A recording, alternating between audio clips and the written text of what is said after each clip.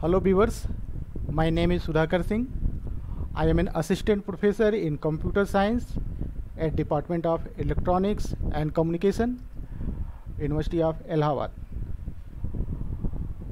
Uh, this video series is recorded for Prolog programming and it is divided into a number of parts. So if you are interested in complete learning, then go through all parts of the video and the concepts uh, will be explained using theory as well as practical demonstration on Prolog compiler. So let's start it. So let's start the learning.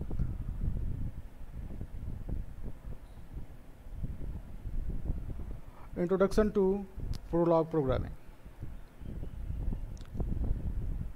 Uh, this is the references from where I prepared uh, these slides. You can go and explore that. So these are the outlines that we will cover in our complete video parts. What is Prolog and programming with relations, facts, questions, variables, conjunction of goals, backtracking, rules, structures, recursive programs, list structure and controlling execution of query using the cut operator. So what is Prolog? Prolog is a short form of programming in logic. It is a declarative programming language unlike most common programming languages. So what we will do in declarative language, the programmer specify a goal to be achieved and Prolog system works out how to achieve it. Traditional programming language are said to be procedural. So a procedural programmer must specify in detail how to solve a problem. For example, the problem of making tea. So in that case, you have to write the complete procedure for making tea. But in case of purely declarative language, the programmer only states what the problem is and leaves the rest of the language leaves the rest to the language system. So what does it mean? Means in case of prolog programming you have to only specify what you want to get from the prolog system. And all the computations and procedures will be handled by the prolog system. So there are many areas where program uh, prolog is uh, being used like intelligent database retrieval, natural language understanding, expert system, specification language, machine learning, robot planning, automated reasoning, problem solving. So let's start with basic elements of Prolog programming one by one. so first uh, element is a relation. So relations basically specify the relationship among objects and relationship among properties of objects.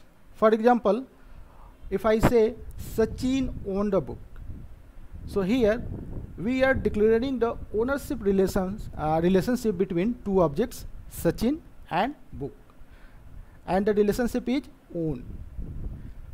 And when we ask does Sachin own the book, it means we are trying to find out about the relationship. So first one is the relationship and does Sachin own the book. Here we asking about the relationship. So how the relationship can be specified? So we can specify it using some formal rules. For example uh, the relationship of being sister. So two people are sisters if they both are female and they have the same parents. So a rule allows us to find out about a relationship even if the relationship is not explicitly stated as a fact. So for example here Sachin owned the book is a fact that is a kind of relationship that is explicit relationship but in case of the rule sister rule it is an implicit relationship. So an implicit relationship is called rule. So as usual in programming you need to be a bit careful on how you phrase the things. So when we are going to uh, express the relationship that is implicit relationship between objects then we must be very, very careful. For example the sister relationship can be accurately formulated as like this. A and b are sisters if a and b are both females and they have the same father and they have the same mother. And a and b both are not the same. So this is the complete and accurate formulation of the sister relationship. Okay. So actually what we do in prolog programming so basically we do two important things. First we declare facts and then define rules. So facts describe the explicit relationship between objects and properties objects might have. For example Ria like pizza grass has color green Fido is a dog Manjit taught Prakash English so in all the examples there is an explicit relationship between objects or between properties of objects. The next thing we do to define the rules. Rules define the implicit relationship while facts define the explicit relationship. So defining rules for implicit relationship between objects for example uh, the sister rules in the previous slide and or rules defining implicit object property. So using rules we define either implicit relationship between objects or implicit relationship between object properties. For example, x is a parent if there is y such that y is a child of x. So there is a relationship between x and y that is implicit. So after defining facts and rules, one may ask the query uh, to the prolog system.